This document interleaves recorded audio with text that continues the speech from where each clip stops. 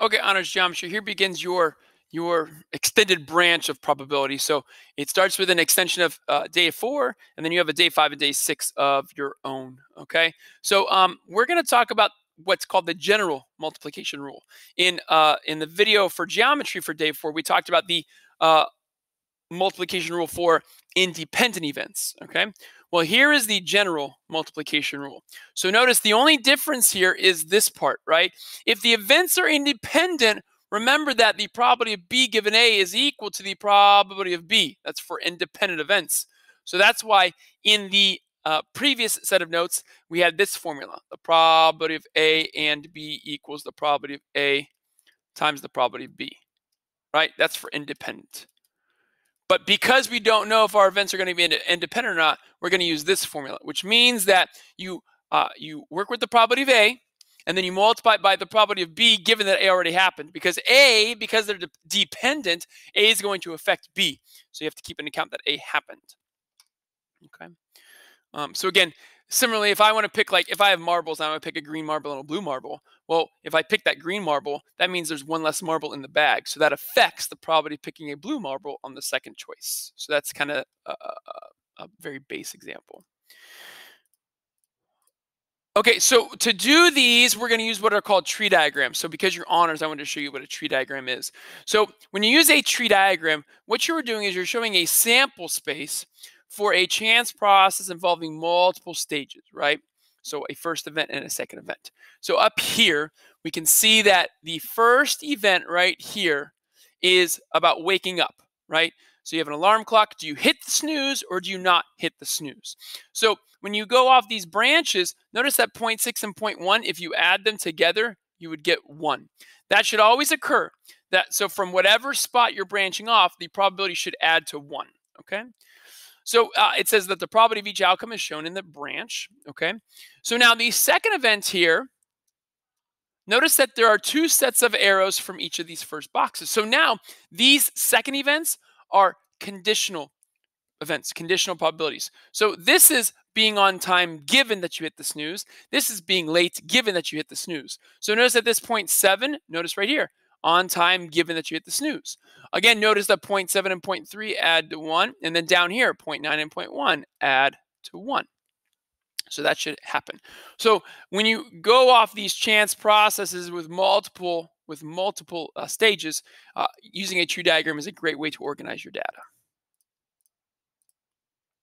Okay, so let's take a look here. It says, uh, does Meteor use relate to good grades? So the Kaiser Family Foundation recently released a study about the influence of media in the lives of young people aged 8 through 18.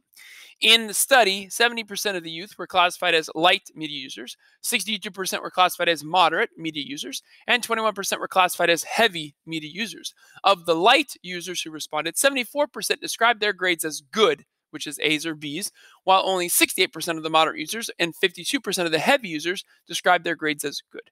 Suppose we select one young person at random, complete the tree diagram to model this process, and then question B, which I'm going to add, give me one second. Okay, and then part B says find the probability uh, that uh, this person describes his or her grades as good. Okay, so uh, to complete the tree diagram, let's identify the first stage. So the first stage is all about the media use. Media use.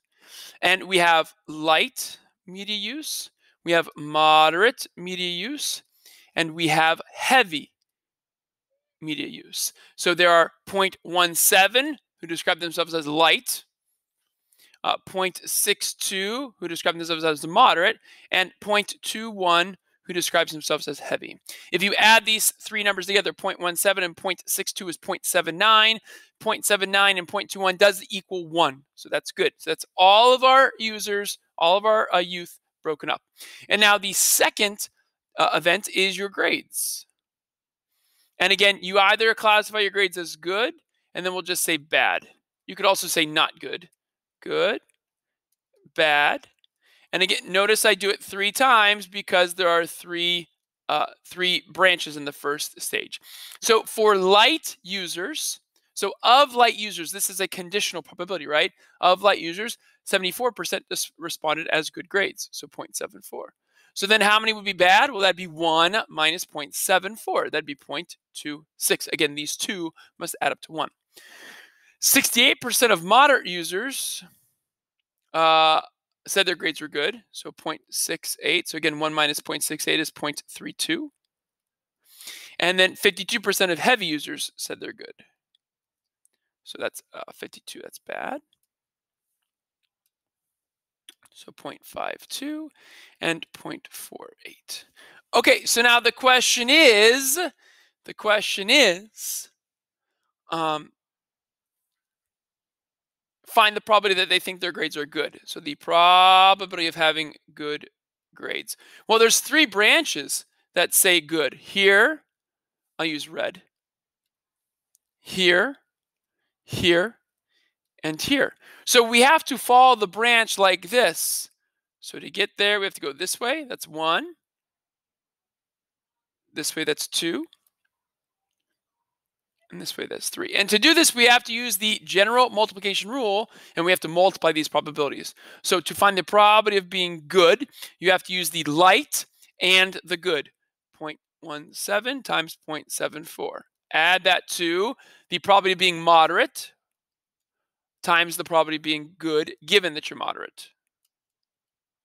Plus the probability of being heavy times the probability of being uh, having good grades, given that you're heavy, 0.52. This is how we're going to do this problem. Okay, so that's where this where the general multiplication rule comes into play. For example, right here, that's the probability of being light times the probability of having good grades given that you're light, right? So that's where that general multiplication rule comes into play that I just explained in the previous slide. Okay, so I'm going to go to the graphing calculator. We're going to round these to maybe two or, or like three or four decimals. Probably three decimals, unless it ends nicely. Okay, so I'll go to the graphing calculator. I took a picture of it. So we're doing 0.17 times 0.7 times 0.74 plus 0.62 times uh, 0.68 plus a 0.21 times 0.52. And there we go. And that would be the answer for having the good grades. So the probability of having good grades would equal 0.6566. And we write that down. Do not round because you don't need to. And that's the answer. Okay. So I'm going to stop the video now because that was kind of lengthy. I'm going to do one more example in the next video.